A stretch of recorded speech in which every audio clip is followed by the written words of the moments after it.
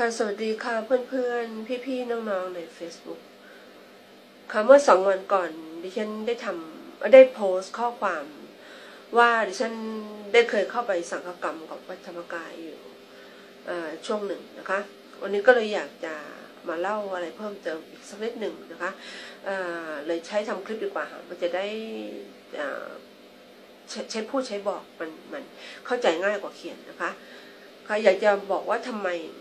วัดธรรมกายถึงได้สามารถล้วงเอาเงิน เอาทรัพย์สินเงินทองของมีค่าไปจากประชาชนได้จำนวนมากมายมหาศาลนะคะแล้วก็ทำกันมานานทำกันมานานแล้วหลายสิบปีแล้ว และแม้ปัจจุบันนี้ก็ยังมีคนอีกจำนวนมากที่ยังหลงเชื่อแล้วก็เอาเข้าของ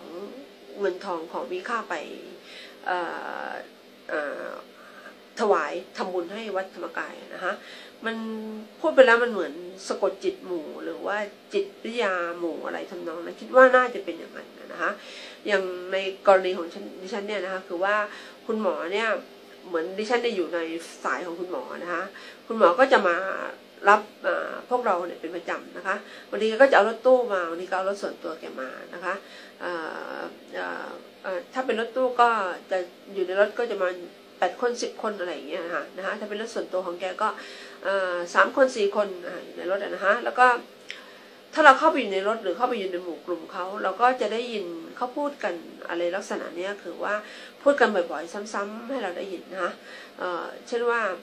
เมื่อนั้นเมื่อนี้คนนั้นคนนี้นะคะเอาเงินมาบริจาคเท่านั้นเท่านี้ แล้วหลังจากที่เอาเงินมาบริจาคแล้วชีวิตจะดีขึ้น หน้าตาจะสดใส หน้าที่การงานก็จะรุ่งเรืองนะคะ คนในครอบครัวก็จะมีความสุขสุขภาพแข็งแรงอะไรลักษณะนี้ค่ะ อย่างเช่นว่าเล่าให้เราฟังว่าสมมติว่าคุณเอนะคะคุณเอ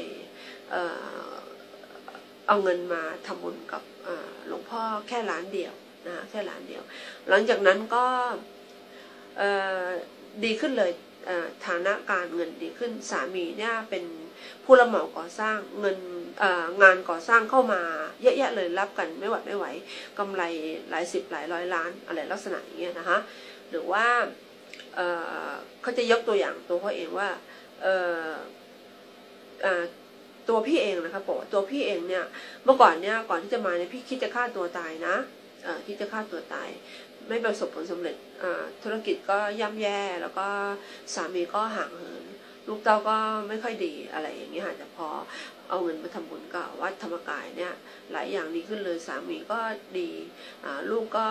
ได้เลื่อนยศเลื่อนตำแหน่ง อะไรลักษณะนี้ออกมาเนี่ยลักษณะนี้นะคะหรือแม้กระทั่งบางคนเอามามาบริจาคแล้วถูกหวยรวยเบอร์ เท่านั้นล้านเท่านี้ล้านนะคะก็จะพูดรับส่งกันมาในลักษณะนี้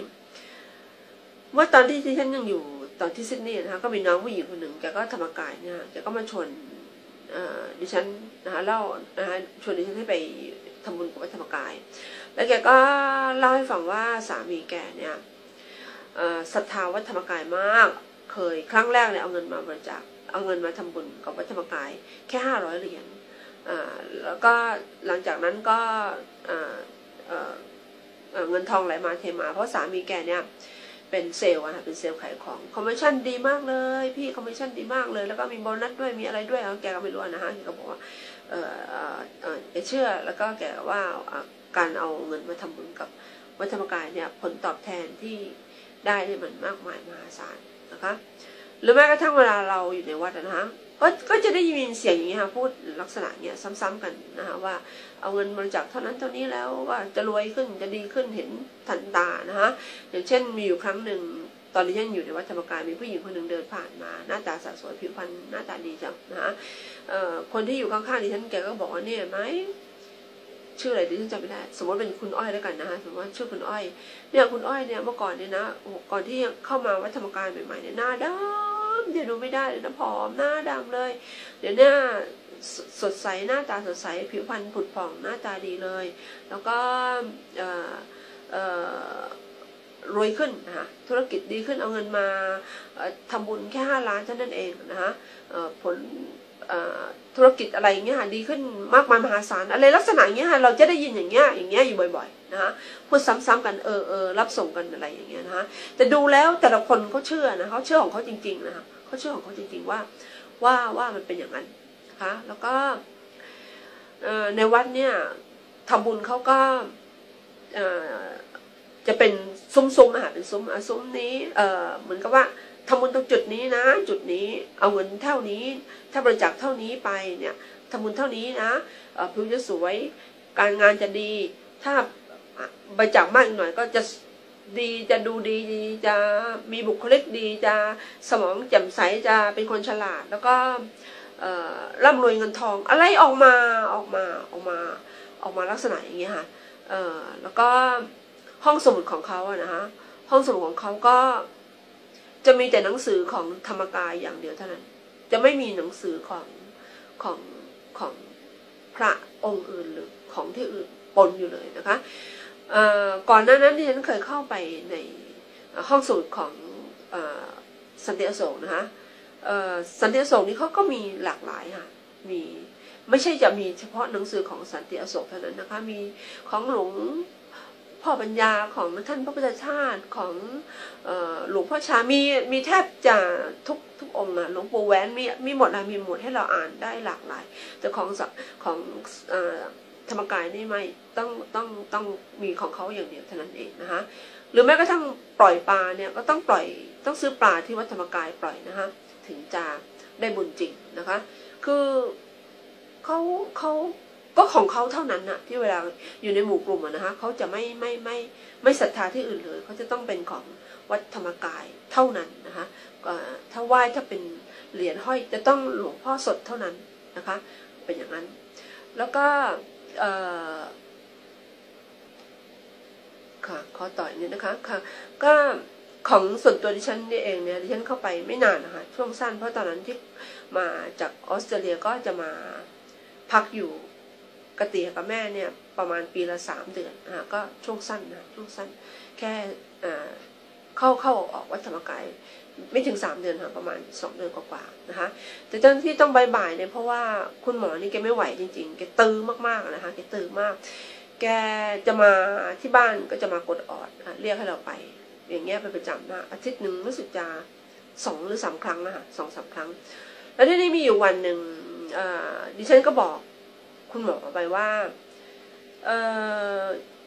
คือคือเรื่องเรื่องเรื่องมันอย่างนี้ค่ะเอ่อคุณหมอเนี่ยพยายามให้ดิฉันไปบริจาคไปทำบุญอ่าสร้างอ่าสร้างอะไรเนี่ยอ่าเจดีย์นะคะเจดีย์ถ้าทำบุญจำนวนเท่านี้เท่านี้จะมีชื่อติดอยู่ที่เจดีย์คุณหมอบอกว่า มีชื่ออยู่ที่จิตจิตติดอยู่ที่เจดีย์เนี่ยมันจะได้ขึ้นสวรรค์นะ เบื้องบนอะไรสิ่งศักดิ์สิทธิ์เนี่ยก็จะเห็นก็จะเห็นว่าเราเนี่ยทำบุญจริงมีชื่อติดอยู่ตรงนี้จริง แล้วก็ผลบุญผลผลกุศลเนี่ยจะส่งไปถึงพ่อแม่พี่น้องคนที่เรารักนะคะแล้วก็ถ้าใครไปใครมาทั่วโลกเนี่ยเขาจะได้เห็นชื่อเราอยู่ในออยู่ในโบสถ์อยู่ในฝาผนังของเจดีย์นั้น อะไรลักษณะอย่างนี้ค่ะดิฉันก็บอกคุณหมอไปว่าพอดีว่า เพิ่งไปทำบุญกับคนเป็นเอดมาค่ะไปวัดที่เชียงใหม่ค่ะมันไม่ใช่เป็นวัดเป็นมันเป็นเหมือนสถานที่หนึ่งที่เขาดูแลคนเป็นเอดนะที่ฉันไปมา แล้วก็เพื่อเอาเงินไปทำบุญ แล้วก็บอกคุณหมอว่าพี่ก็เพิ่งเอาเงินไปทำบุญ ให้กับเด็กกำพร้านะเด็กกำพร้าเด็ก พร้าเด็กด้อยโอกาสอะไรอย่างเงี้ยค่ะพี่คงไม่มีเงินไปไปสร้างสร้างเจดีย์อะไรนั้นหรอกนะคะหรือว่าถ้ามีก็คงเอไว้โอกาสหน้าทีนี้คุณหมอเนี่ย พอแกมาตามเราหลายๆครั้งเราก็อ้างนู่นอ้างนี่อ้างนั่นเราไม่ไปนะพอเราพูดไปว่าเราเอาเงินไปบริจาคให้เอ่อเงินไปทำบุญกับคนเป็นเอดแกก็บอกว่าพี่ พี่ไปทำกับพวกมันทำไมอะ พวกมันมันทำตัวเองนะ ที่มันเป็นเอดเนี่ย พี่ไม่ได้บุญหรอก มันทำตัวเองนะ แล้วก็ไอเด็กกำพร้าพวกนั้นน่ะ พี่เอาเงินไปบริจาคพี่จะเชื่อได้ยังไงว่าไอเด็กคนพวกนี้มันโตขึ้นแล้วมันจะเป็นคนดี พอเราได้ยินอย่างนี้เราก็ชักโมโหว่างั้นเถอะนะ แล้วก็บอกคุณหมอไปว่าคุณหมอครับ พี่ทำเนี่ย พี่ไม่ได้คิดหรอกว่า ที่ผ่านมาคนเป็นเอดเนี่ยเขาจะทำตัวเขาเองหรือใครทำให้เขานะฮะแต่ว่าปัจจุบันเนี่ยเขาลำบากเขาต้องการความช่วยเหลือและอีกอย่างหนึ่งเด็กเอ่อพวกเด็กอ่าด้อยโอกาสพวกนั้น พี่ก็ไม่รู้หรอกว่าในอนาคตของเขาเนี่ยเขาจะเป็นคนดีหรือไม่ดีเราไม่สามารถจะรู้ได้ แต่ว่าปัจจุบันเนี่ยเขาเดือดร้อนเขาต้องการความช่วยเหลือนะพี่ก็ไปทำพี่ก็ไม่ได้หวังว่า คือแกบอกว่าถ้ามาทำบุญกับคนพวกนี้เราจะไม่ได้บุญหรอก บุญถึงได้บุญก็น้อยแล้วก็บุญพวกนี้มันจะไม่ส่งถึงพ่อแม่พี่น้องหรือคนที่เราเรารักอะไรอย่างเงี้ยนะฮะเราก็เลยบอกแกไปว่า เราทำบุญเนี่ยเราไม่ได้หมายถึงว่าเราจะต้องได้บุญหรือว่าอยากได้บุญได้นู่นได้นี่ เพียงแต่ว่าทำไปแล้วเนี่ย เราเราเราได้ช่วยเขาเราก็มีความสุขก็แค่นั้นเองก็คิดว่าแค่นั้นเองนะฮะแกก็เลยโมโหหมอเนี่ยออกอาการออกอาการแกก็เอามือแกเนี่ยไปชี้ที่หัวแกทำเนี่ยแล้วบอกบอกดิฉันว่า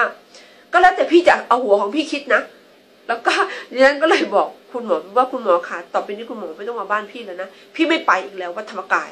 ฮะฮะก็ก็ก็ก็ที่เรามาทั้งหมดเนี่ยก็อยากจะบอกเพื่อนๆว่า ถ้าเพื่อนๆคนไหนมีเพื่อนมีญาติพี่น้องที่ยังหลงไหลได้ปลื้มอยู่ ก็จงบอกเขานะคะจงช่วยบอกแต่ว่าเข้าใจนะว่ามันยาก เพราะว่าตัวเองเคยก็ผ่านมาแล้วบอกเขา บอกยากแต่อย่างน้อยก็เตือนสติเขาสักนิดนิดก็ยังดีนะคะถึงเขาไม่ฟังก็ขอให้เราได้เตือนนะคะเพราะว่ามันหลอกกันชัดๆแต่มันไม่มีนะคะนะคะยิ่งได้มาอ่านหนังสือของท่านพระพุทธทาสบ้างแล้วก็ก็เชื่อเลยว่าที่ผ่านมาตัวเองเป็นแค่เปลือกแค่กระพีนะคะก็เมื่อก่อนนี้ก็คิดว่าทำบุญก็แค่ว่าตื่นขึ้นมาก็ใส่บาตร นะคะแล้วก็ทอดกระถินบ้างอะไรอย่างเงี้ยค่ะทำบุญใส่ซองใส่อะไรก็ว่าไปใครบวชใครอะไรก็ใส่ซองไป ก็กระพีจริงๆนะคะแล้วก็เวลามีทุกข์เนี่ยก็ไปนุ่งขาวห่มขาว ก็คิดอยู่แค่นั้นว่าอันนี้ก็ได้บุญแล้วนะคะหรือบางครั้งเนี่ยโง่ถึงขนาดว่าทุกจัดๆนี่ก็ไป